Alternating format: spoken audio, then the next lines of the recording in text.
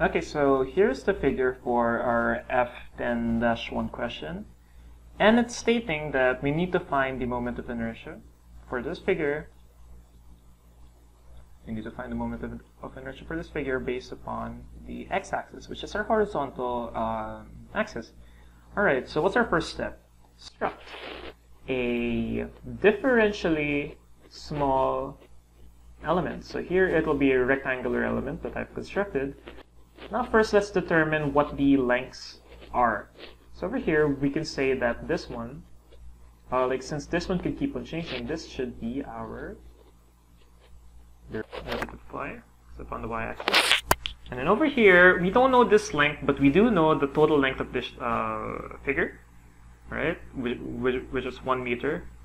And then we can we can say that this one is is our unknown, our unknown x. Unknown x. So equally, 1 minus our unknown will give us this length. Right?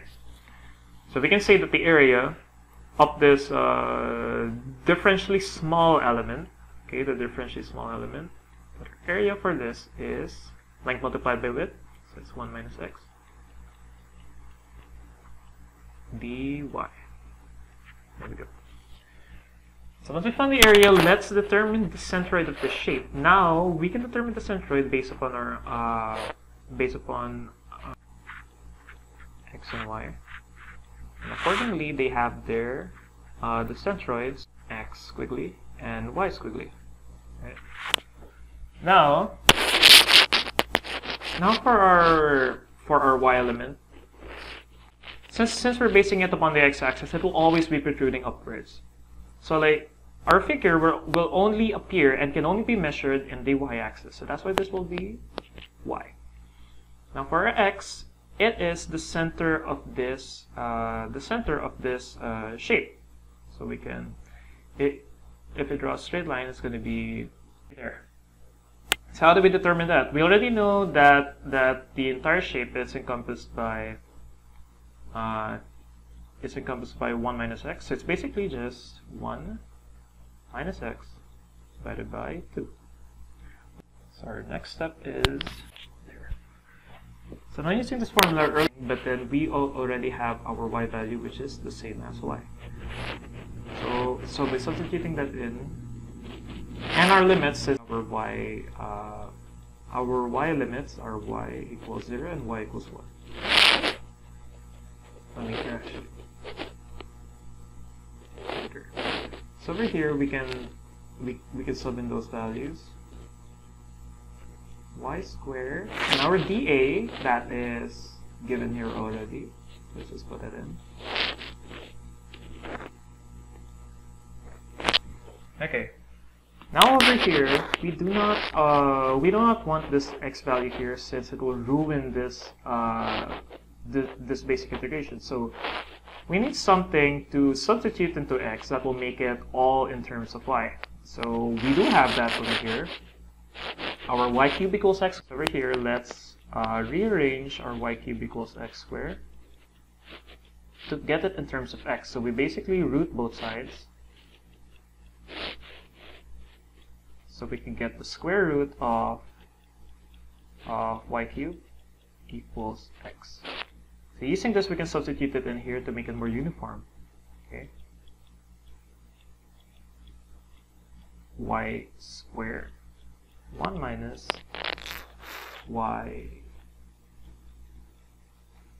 to the power of 2 over 3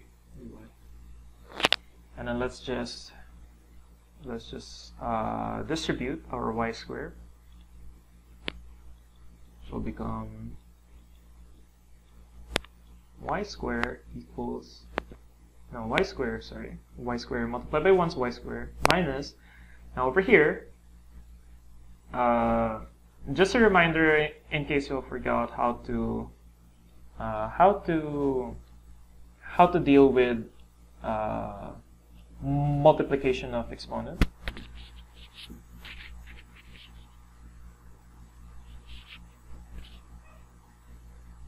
If they have the same base, alright, if they have the same base and then they multiply with one another, its exponents will add. That's all I need to remember. So, so in case of this, we have we have R2 plus, since it's multiplication, 2 by 3. So that one, like just using LCM.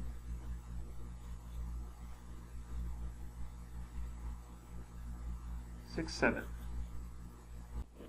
And actually, there's a mistake. Yeah, actually, this one. This one is actually 3 over 2. My bad. Because it's the, it's the square root of my cube. My bad. There, makes more sense. Okay. So this one should should have actually been uh, the square.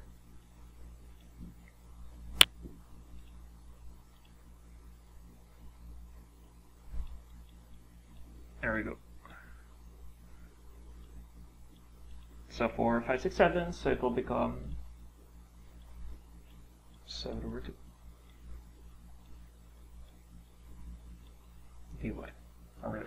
So here we'll do our integration. That's equal or equals to uh, brackets.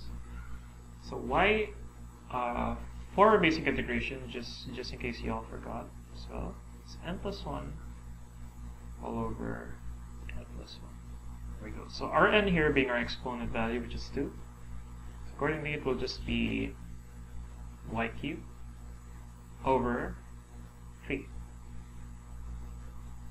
minus uh, 7 over 2 plus 1 that is we can we can have it here as well.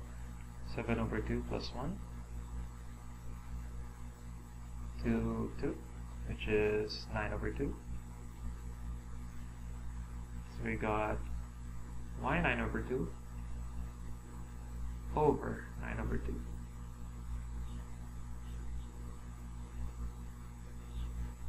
For, for this 9 over 2, you can simply have it as a reciprocal. Uh, another way of writing that is like this. Can be written as 2 over 9. y 9 over 2. There we go. So actually, let's write it that way. So it's much more uh, easier to look at. So we got 2 over 9 y 9 over 2. There we go. Now we basically substitute 1. We substitute this value first into our uh, y variables, and then we'll substitute, uh, and then we'll subtract that with a substitution of 0. But since 0, anything that's multiplied to 0 is going to be 0, so we're going to discard our second term. So, so we're just going to take note of this one, of the one substitution. And then it doesn't matter either way because anything that is uh, for the exponents, anything and any base that's multiplied, uh, any exponent that's multiplied with a base of one will always be one. So, so these exponents don't really matter. So like what we're left with is, so this will all, become one, all become one. So we're left with one over three and 2 over 9. So if you write that final uh,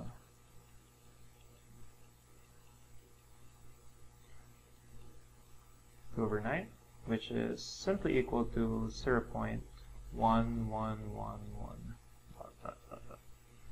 Right? So we could say that our I of x can be also written in this uh, Let's write it in the scientific notation, shall we?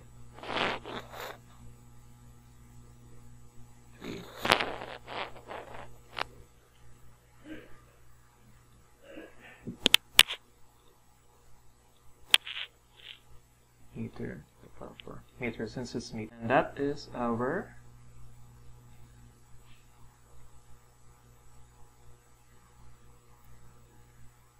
final answer.